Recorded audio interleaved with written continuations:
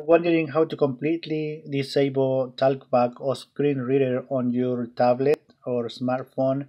In this case this is the uh, tablet uh, Lenovo Smart Tab M8 so let's go to settings really quick and find accessibility. Okay open accessibility. Uh, first option that you're gonna see is the volume key shortcut.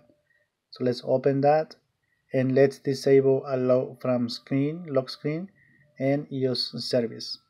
Because if this one is on what it does is that if by accident you press both volume keys up and down for three seconds it's when the talkback or screen reader is uh, activated itself. So sometimes if you have your tablet or phone in your purse or your pocket or things like that and by accident somehow uh, get pressed both keys then that's when the feature is uh, unable and uh, some user on my channel it's been asking me if how to get rid of completely this uh, talkback or accessibility.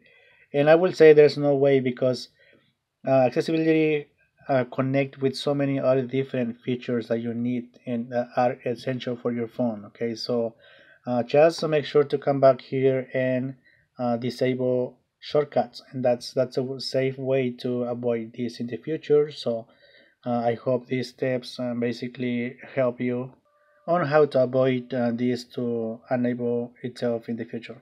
Alright, thanks so much for choosing my video. Please subscribe to the channel, uh, hit the like button on this video to help um, make become more visible.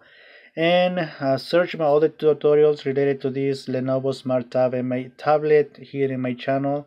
I have uh, different issues I mean solution about different issues. And also there is a playlist. Just search my playlist Lenovo Smart Tab in English. I have in Spanish and English so don't worry about it. You see Spanish in the screen. Uh, I have tutorials in English. So just search this in my channel. Thanks so much